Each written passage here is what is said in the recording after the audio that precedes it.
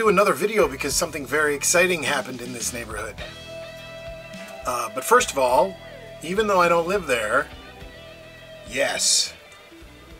So for all my Scottish friends in the VC, uh, hopefully you're feeling the same way as I am about uh, Scotland's independence. But uh, we got a vote coming up, and it sounds like things are very, uh, very heated over there in the UK. Anyway, uh, this is a video about, like I said, it's something very exciting happened in our neighborhood. A new record store opened up. Uh, place is called Tin Dog Records. And uh, it is located in Beloit, Wisconsin. Uh, very nice part of town, right on State Street there. A number of nice little shops and, uh, and uh, bagel places and coffee shops, cafes, whatever you want to call them, just right in that area. Uh, anyway, it's a very nice neighborhood. Um, they have been wrestling with the idea of opening this store for quite a while. I've been following them on Facebook. And apparently there have been some issues with construction and it taking a long time. And uh, uh, But anyway, they finally, they finally opened. Um, they didn't, this isn't their official grand opening, but they finally opened their doors and uh, I was there. I saw a notice on Facebook that they were going to be open on on uh, Friday morning, so I shot up there Friday morning and um, and checked them out and met the owners. Jon, Amanda, hello. It was very nice talking to you. Uh, I probably took up more of your time than than you wanted, but it was very nice to get to know you and very nice to talk to you, find out uh, how things are going and what your plans are for the store and everything. Uh, very, very cool. So again, Tin Dog Records in Beloit, Wisconsin. And if you are ever in this area, um, you should check them out. Uh, fantastic store. I will be, uh, in case it wasn't obvious from something I said a little bit earlier, I will be doing a, uh, a more in-depth video about Tin Dog when they have their official grand opening. But I was sort of talking to the owners about that, and we, we kind of agreed that uh, because the store wasn't quite where they wanted it to be at this point, they uh, they would rather have me hold off until they were ready. So I'm totally cool with that. They uh, they did allow me to take a few shots inside, and uh, I'll, I'll you know put up a couple of them here just to give you a feel for what the store is like. Uh, very cool place. A giant wall of brand new records and lots of bins of, of uh, used records with some some pretty deep stock. Um, uh, I'll, let me show you a little bit of what I saw there when I was digging.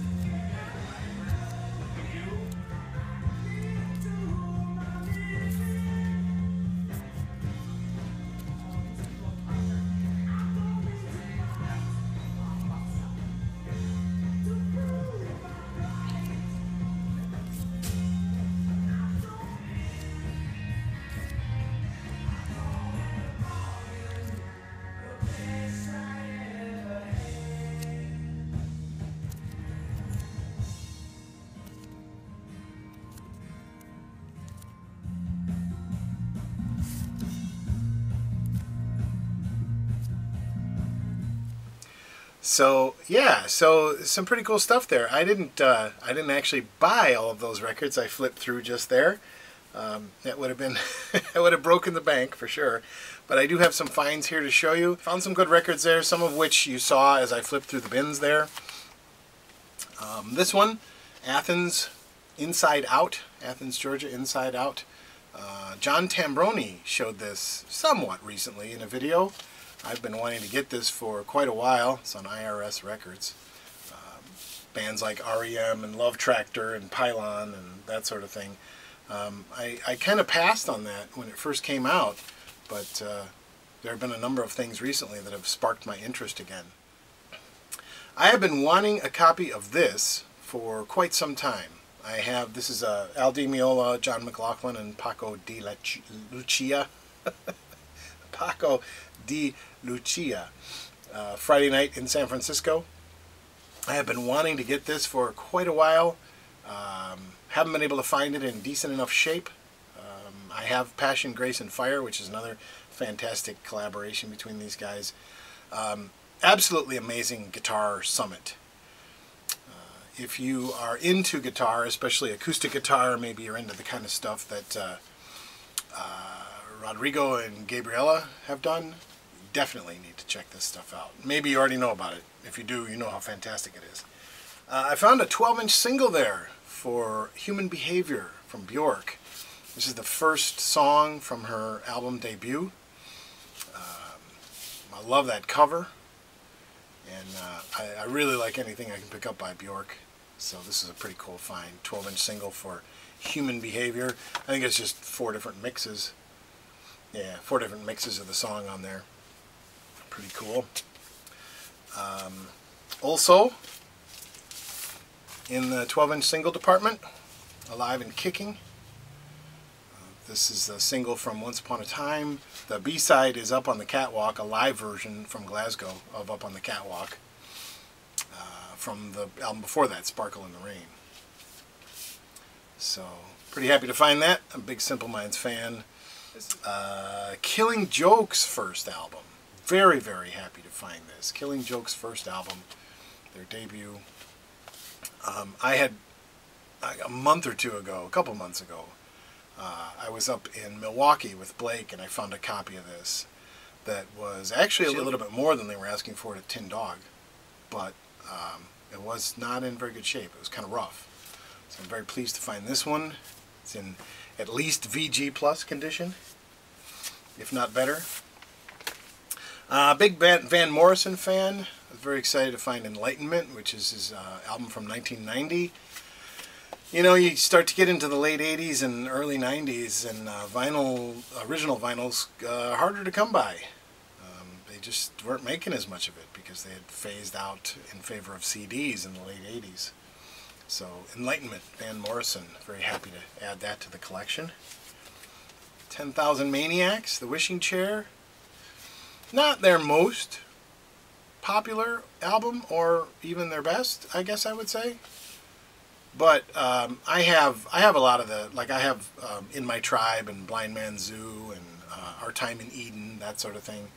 Um, but I don't have this one, and so I, you know, I decided I was gonna pick that thing up, and you know, wasn't didn't set me back that much to do it. Um, another album I'm very very excited to find here, uh, Milwaukee represent uh, Violent Femmes their second album called Hollow Ground. Hallowed Ground. Um, I have, uh, actually at this point now, I have all four of the first uh, Violent Femmes albums, which I believe are the best Violent Femmes albums. But uh, of those first four albums, I did not have Hallowed Ground, and I could not find a copy of Hallowed Ground on vinyl. Um, so I, up at Tin Dog, they had uh, all four of the Violent Femmes albums that I'm talking about. And that was one of them. So I was happy to find that. This was a prize find. Uh, compilation, Bauhaus compilation, 1979 to 1983. Uh, double album, gatefold.